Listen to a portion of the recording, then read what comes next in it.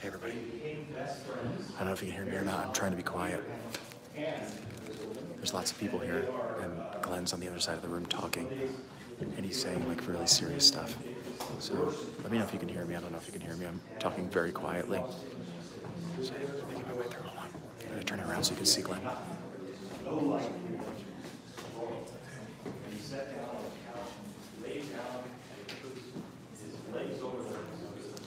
is currently giving a tour of all his paintings right now. and he's glowing, and, and the seamstress said, it's the first time I ever lied to him. I wanted to see what was cheering him up, so I went behind the couch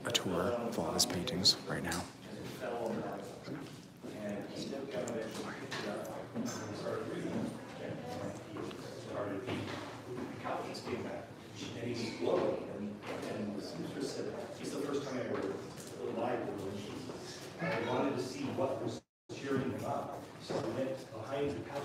sorry, Mr. President, I'm just. Thank you for the algorithmic engagement chat. Behind the couch and looking for it, but she was actually looking to see what he was reading. What cheered Abraham Lincoln up? Job. It was the book of Job, and he realized there's a reason for everything. God has it. And we're not gonna know the reason, we just have to know that he has it. Just stay on the right path. Um, This. So all these paintings around here are Glenn's. But, um, Good, how are you? this is, we just, uh. We are essentially ahead of Glenn in the tour, so you're experiencing this tour ahead of the people in the room who are going to pay like 10 zillion dollars for these paintings. And you're seeing them first. Look at this.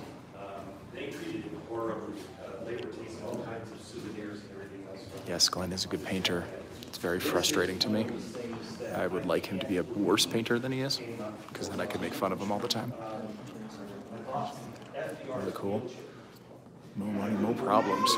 Wow, thank you for the uh, super chat there. Very cool. No money, no problems. I feel like so pretty nice. I should have brought my stupid thing that I can't get to work. This is. Have you seen this one before? This was hanging in the studio as of a couple minutes ago, uh, like a week ago. Surgery went pretty well. Everyone's happy. Thank you. I was delayed two hours. Look at this. How does he do this? And this is in my imagination. Everyone should know that I could totally trash this painting right now. Nobody would be able to stop me. Um, he, he goes to the play and of course is killed. This one's amazing. It's called One Last Night Out, but it says on the bottom, uh, uh malice toward God. I'm like, The reason why is that is oh, the cake is coming. I'm gonna smear all these with cake later on. To let these people get through the tour first. Here we are, where we are right now. City Fine Art, back the 2022 collection. They have like cool prints here that these are like affordable for people as opposed to the giant paintings which i mean if you didn't want your kid to go to college i think you could get one. Right there. This is the prints. This one's signed right there. Should i take some and just sign some in this pile and see if people get the fake signature? Could be kind of funny. Just trying to keep myself entertained here. I don't think these are these are other people's with malice toward none and charity toward all, and that drove Booth out of his mind because he wanted the war to start up again. And that's when he decided, if I kill that guy, the North will get all upset. I am a Southerner, and they'll go down. One messed up when he was talking war about these two were the ones he was talking about on the air today. Thank God, um, because of what he stood for, because of what he stood for. He went down and he was racing down the stairs as Lincoln was getting ready to leave. Races down the stairs, he was gonna kill him with his bare hands. He falls Oh, and wow. trips at the gonna pick up two of those. And Lincoln is here, walking this direction. The Police officer is here, and Booth falls right down on his face, right between. That's really cool. Lincoln walks on, uh, and the cop pulls Booth up by the scruff of his neck and is read him. They only let a few people in at a But then he time. He's done multiple tours today. This is John Wilkes Booth, this is Leonardo DiCaprio of the day. He's a famous star. Oh my gosh, Mr. Booth, are you okay? Yes, yes, I'm sorry, I just tripped. I hope I didn't hurt the president. Let him go. Ford's Theater is- Trying to hang out and be quiet back here. But I've talked to a few people already. Everyone's very cool as usual. Is uh, very complex. I give him a lot of free passes because of the era he was living in. It was new, exciting. I just heard Glenn said gives Theodore Roosevelt a pass, which I've never heard him say before, so he may be drunk. He may be back on the sauce. We're upstairs now. I can actually talk a little bit. You've seen this one before. Such a cool one. So cool. This whole thing is all Glenn. And you wonder why, like, hey, Glenn didn't seem to prep for the radio show today. That's because he was doing this. There you go. This is called Let's Do It. The Spirit of the West. Oh, look at this. You guys recognize this guy? Ever seen him before? That's pretty cool.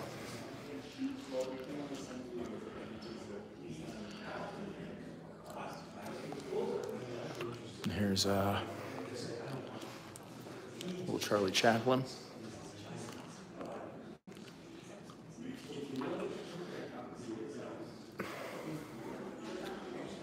This one's pretty cool. You know this one if you. I think Glenn just saw this movie and decided to paint this. And because he doesn't, what does he know about? I mean, it's like a sport. He doesn't know anything about sports. We all know that. You notice how Glenn paints a lot of sports for a guy who knows nothing about sports? Like, for example, if we will, right over here. Oh, am I chewing my gum too loud? I'm sorry. I'll improve that. That's pretty cool. You got Limitless. You kind of got the, the collection here. Lucky, Limitless, and Fearless. Right here. Yeah, this one is like the baby.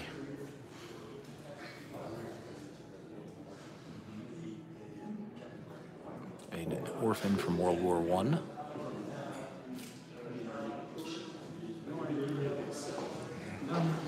Food.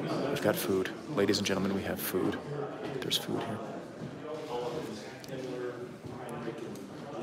Uh, that's really cool. It's big too. I can't even, I gotta like step back to get them all. It's cool. Faded but not lost. I say, I keep telling Glenn like he's much better painter than he is a radio host. He should just start doing this. Let's see. Anyway, just, but what, Cool. This one's kind of a cool, different style. You can see me in there. Hello. Hello. Heroes in the sky. A super chat for that? If you make a super chat for that, I'll try to pick it up for you. Got a 50 50 shot of getting it. First one says shit. Wow. Pretty, pretty cool. Get the prints over here. Okay, here they got a bunch of smaller ones here. Run out of here. Okay, so we're doing lucky, right? All right. Yeah, but- no, not Thanks a lot, uh, Tiffany. Radio Hall of Fame. It's a sham. No, I- I- Until I'm in it, Under the Millionaire then it's the most respected group in America. Very cool. I mean, there's a lot here. Gosh, that relief factor must be working, huh? The guy paints all the time.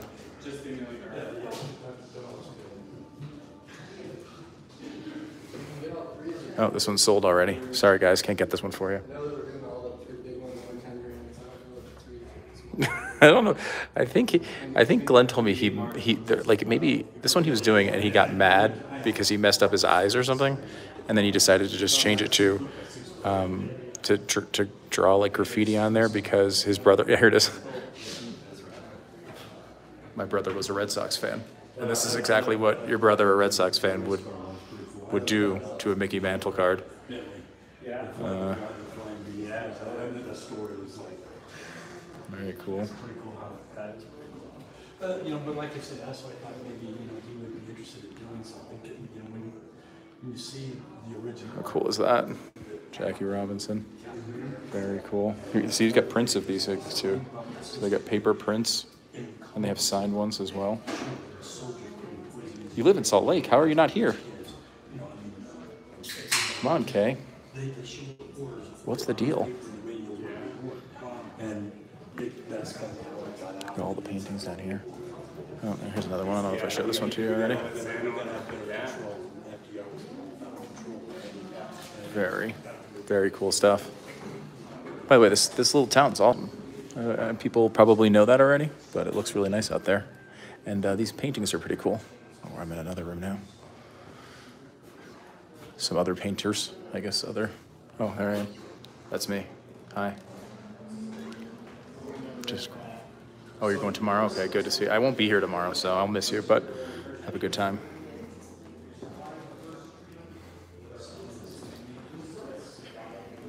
This is when I walk down the stairs and trip live on camera, make a really loud noise, and disturb the entire tour.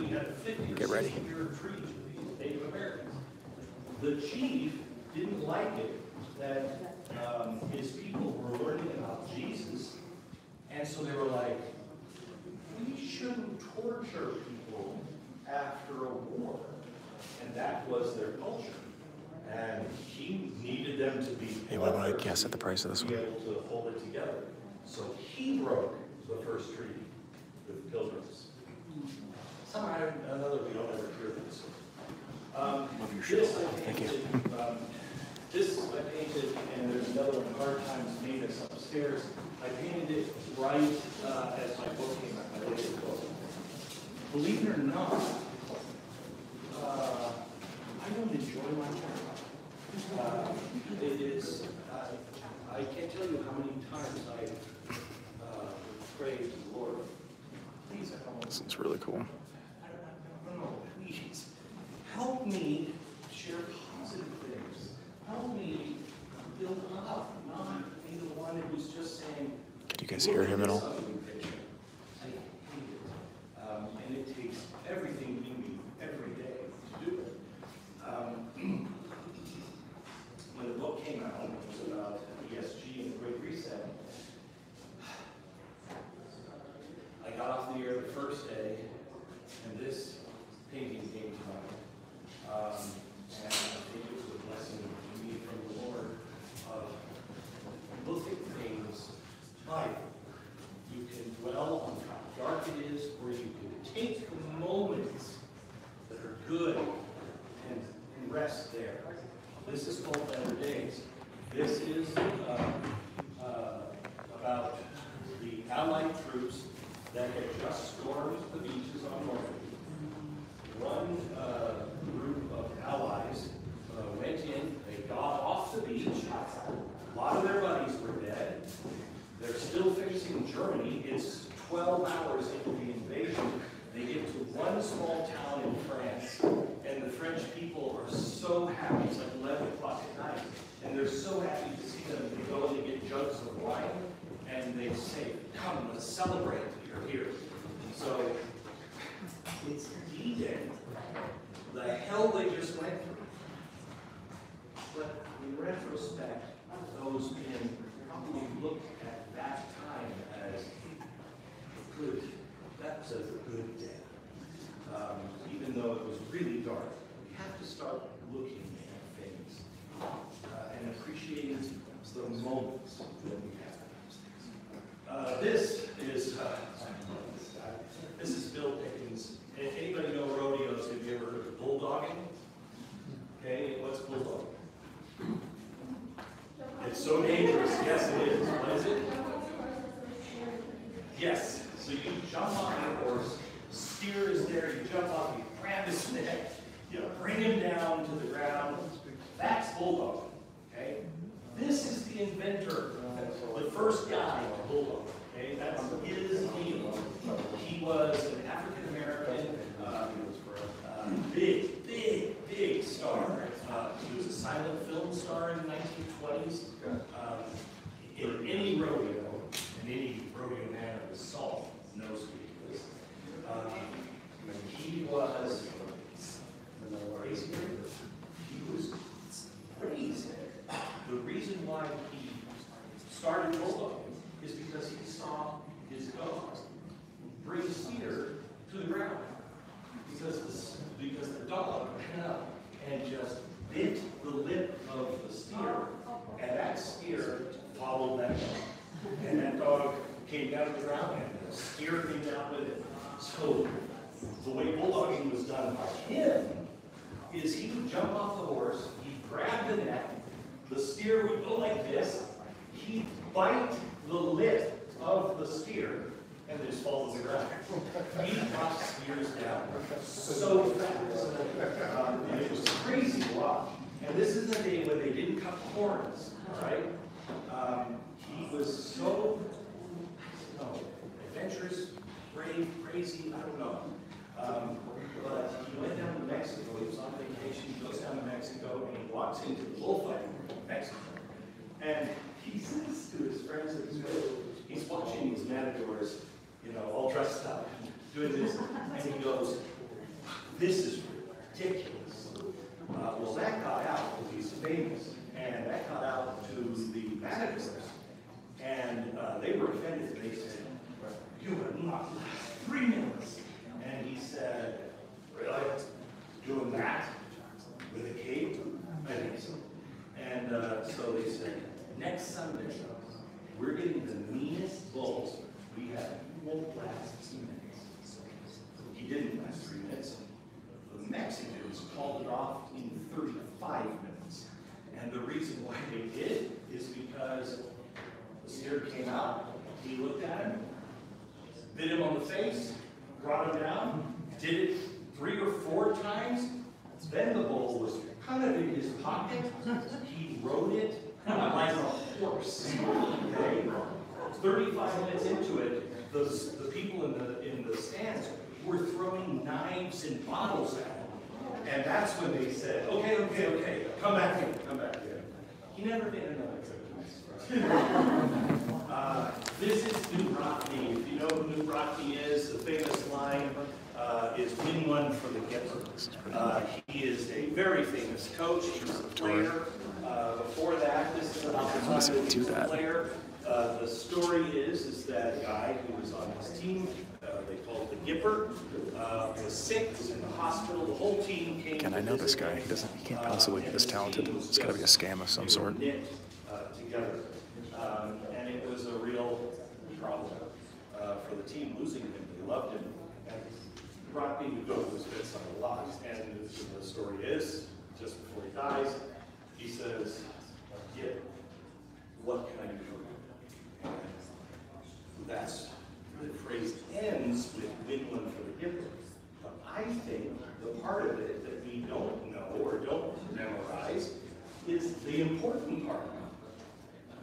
This was his response. Coach, when the team is up against, it, when things are wrong, ask them to go in with all they've got and with one This not to disturb them. missing. We are missing that. We all think win, win, win. How do we win? No. Even when everything is against you, even when there is no possible way, when you are down and kicked in the face, go back in with everything you've got. Win or lose, doesn't matter. Go in with everything you've got. This is the quintessential problem with our country right now. We're importing baby formula from Germany. We're having them airlift this.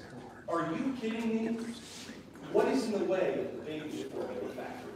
What is, what is it with us in America where we are just putting our hands in the pocket and going, this sucks? You know what? Get back into the game. All the government has to do is get out of the way.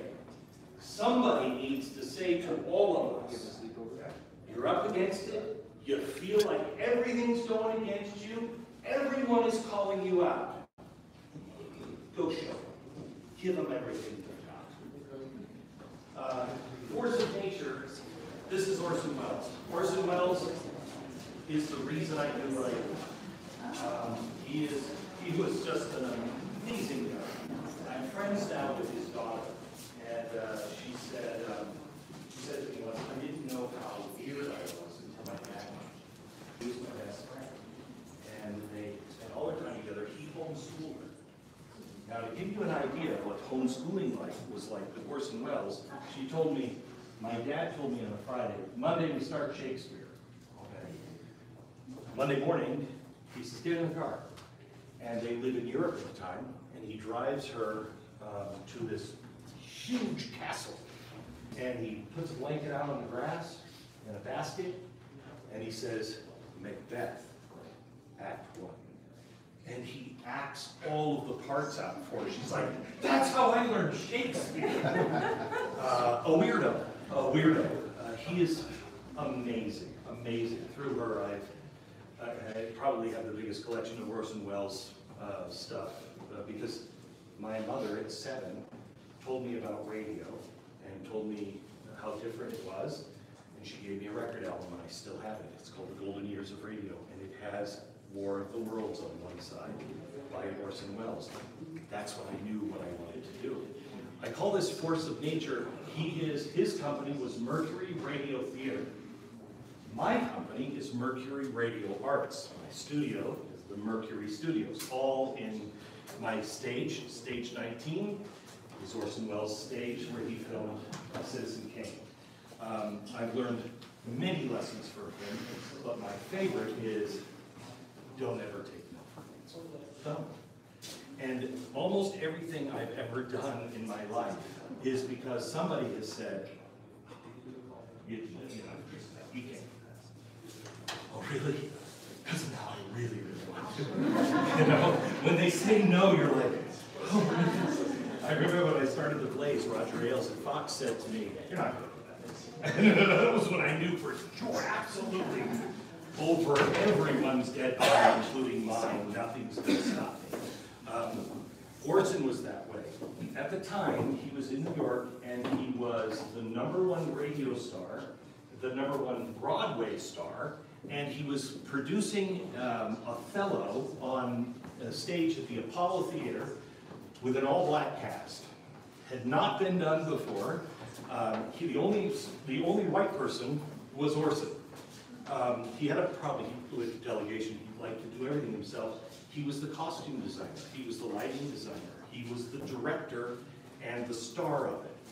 At the same time he's doing that, he is also on Broadway doing another show. And he's doing three radio serials at the time. He played The Shadow. He was monstrous. One day, he's walking down uh, the street with his uh, partner, John Houston. Uh, yeah, John Houston. And he said, um, "How's business, John?" He said, "Orson, it's great. All we need, all we need are more yous." Um, he said, "Because we, we, I had to turn CBS down for another radio show." And he said, "You didn't talk to me about that." He said, "No, of course not. It's uh, Saturday at five o'clock, and you've got the two shows." And Orson stopped and looked at him and said, yeah, my show, my first show is at two. And then my next show is at seven. Five o'clock's wide open. And, and John says, you're out of your mind. I can't even get you to the studios that's in, in uh, the southern part of New York City. I can't get you downtown and return you to the stage fast enough. Just then, an ambulance goes by. And Orson stops and says, John, see if you have to be sick.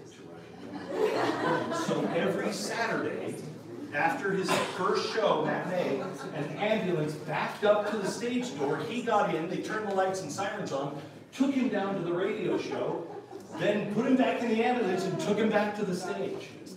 Force of nature. He did things that everyone said was impossible. Um, this is, uh, uh, I'm a big fan of the people, W.O. Bentley. Got to, uh, I got to stick back here and put some of this stuff away. I'm going to give you a little taste of this. If you are in Utah, you should come by. Uh, I think tomorrow he's here like all day, so you should come by and uh, check it out because he's going to give this tour. And and I, if you know Glenn, he can't tell the same story twice in a row. It's like impossible. He has to like add new details or tell a totally different story. So come back, check this thing out. He's got um, you know moderately priced uh, uh, prints and stuff upstairs. And the good thing about this too is, I mean, look, we all love capitalism, of course, but these uh, all the pro- proceeds from this uh, whole exhibit are going to um, buy more uh, artifacts and protect artifacts for the museum. Um, so that's really cool. I mean, it's uh, he's. I mean, I would have just kept the money, frankly. If you guys will buy my paintings for thirty thousand dollars, I'm just going to keep it. Uh, uh, I'll be preserving all sorts of stuff. Um, but that's actually what Glenn's doing with this, and it's, when he gets to go on tour and, and you know, go on the shows and show all of these really cool um, uh, artifacts and stuff that he does on the show. This is what he's been, how he's been securing all of those things. Uh, so definitely worth your time if you happen to be in the in the area. Oh, you're fine. Um, if you happen to be in the area, you should stop by. And uh, I think if you go to glenbeckfineart.com, you can see a lot of these, and you can, I think, get um, get the, uh, the prints and stuff there as well. So happen to be in the area tomorrow, he's here. I'll try to post some more stuff on social media tonight, but uh, there's two things. One, I have to put this stuff down that I'm carrying around, and two, my arm's getting tired. So uh, I will. Oh, thanks for the super chat. I appreciate that. Thank you. Thank you very much, and uh, I will see you guys in a little while. Okay.